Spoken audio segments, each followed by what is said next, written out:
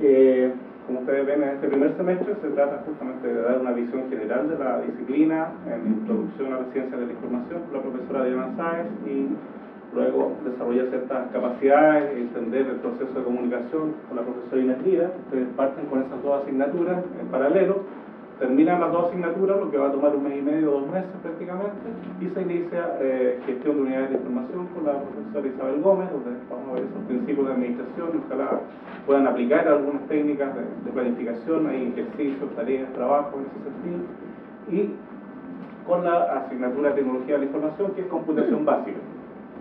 Esta asignatura podría ser convalidable para alguien que tenga estudios en el área, eh, en alguna institución de nivel superior, educación superior y eh, los haya tenido en los últimos cinco años. En estas condiciones podría convalidarse la asignatura.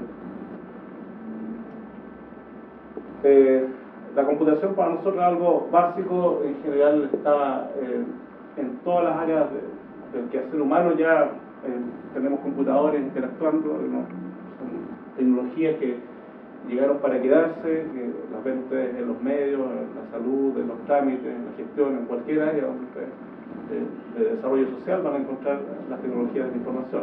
Y en nuestra área en particular ha habido cambios enormes a través de las tecnologías.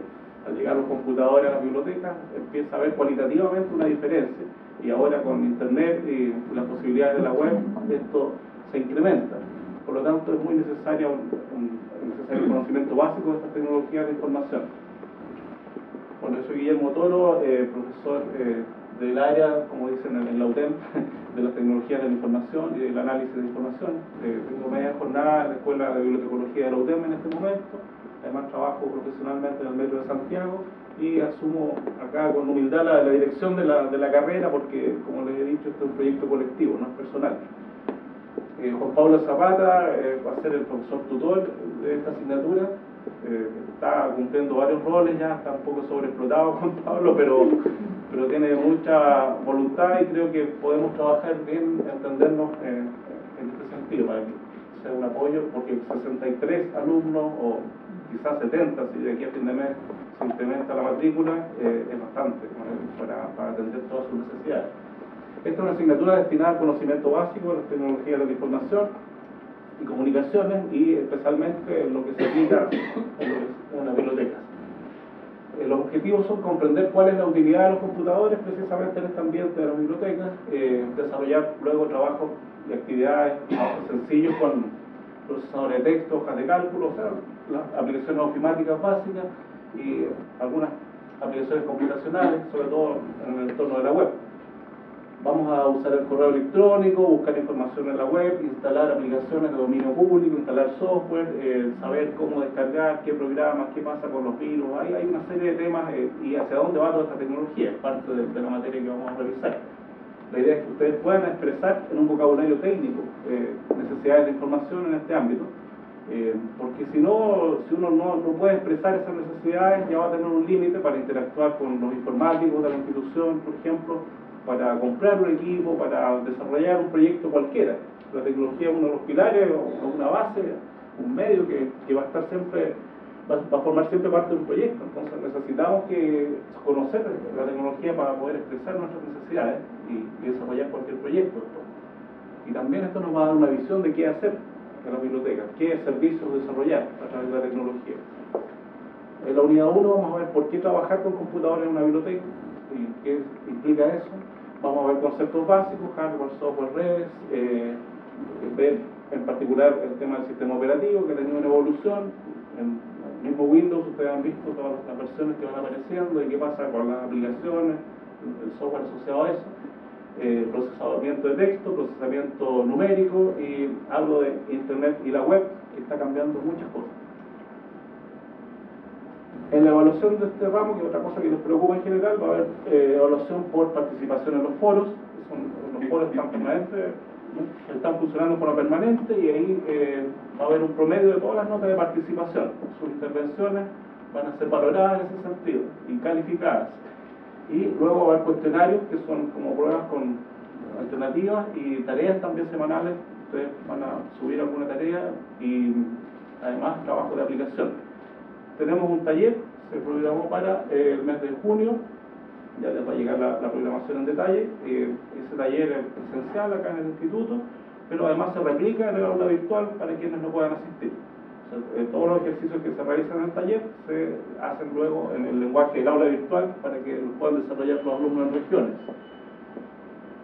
Eh, el tutor de seguimiento se va a hacer cargo de la- todas las consultas iniciales, pero por supuesto yo voy a estar ahí siempre para, para atenderlos, así que bienvenidos.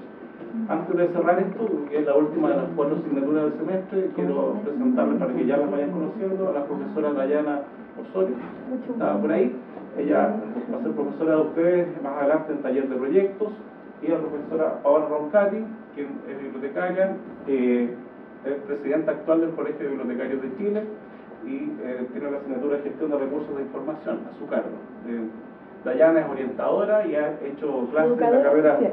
Educadora. Perdón, educadora social y ha hecho clases eh, formada en el Instituto Carlos Casanueva, ha hecho clases eh, por varios años ya en el instituto de forma presencial y es, y es toda una experiencia esto de poder ahora enseñar su materia pero a través de a la distancia, a través del aula virtual.